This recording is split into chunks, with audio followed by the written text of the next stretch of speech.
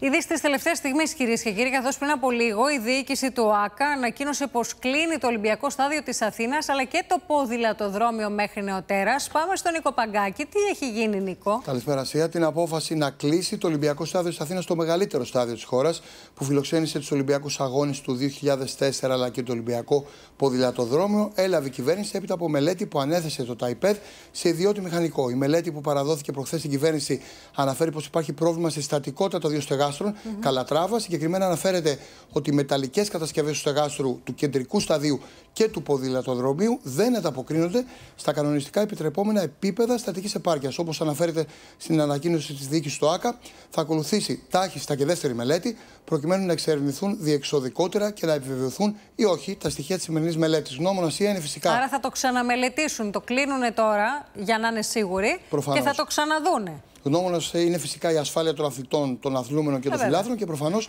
θα επηρεαστούν και οι αθλητικές εκδηλώσεις όπως οι εντός αγώνε του Παναθηναϊκού για το Europa League. Σε ευχαριστούμε πολύ, Νίκο.